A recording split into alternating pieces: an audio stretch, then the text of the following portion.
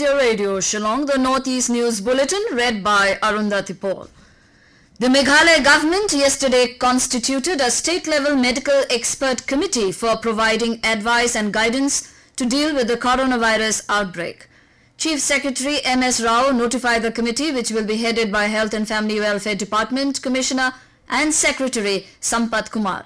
The members of the committee include doctors of state-run hospitals and specialists in rehabilitation and community empowerment.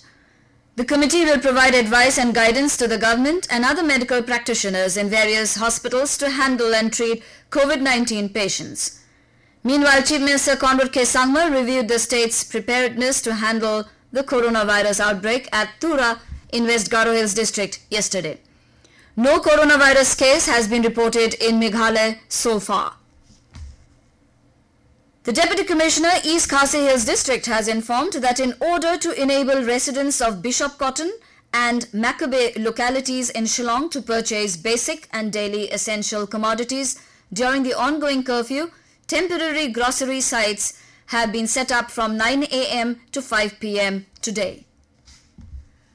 Over 2,500 people who recently returned from other parts of the country have been placed under home quarantine in Nagaland, where no person has so far tested positive for COVID-19. Out of the 17 samples that were sent for testing, results for 13 were negative and the remaining reports are awaited. Government spokesperson and Minister for Planning and Coordination, Neiba Kronu, said, Around the clock COVID-19 control room is monitoring the situation in Nagaland. Assam Chief Minister Sarbananda Sonowal has said that the state government is taking steps to ensure the supply of essential commodities to the people. Visiting Golaghat and Karbi Anglong districts yesterday, the Chief Minister said he was monitoring the steps taken by the district administration to ensure the supply of essential commodities during the 21-day lockdown. Mr. Sonowal also expressed displeasure over the incidents of attacks on policemen enforcing the lockdown and asserted that the government will not tolerate any attack on police personnel.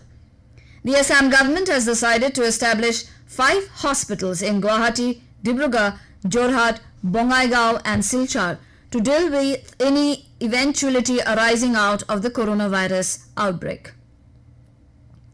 The Northeast Frontier Railway has converted sleeper coaches into isolation wards with medical facilities at Guwahati, Kamakhya and Dibrugarh railway stations.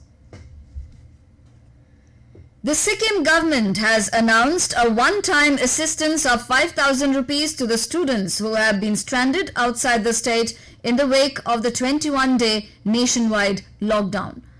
The Chief Minister's office and the Education Department will monitor the transfer of money to the students who could not return to the state.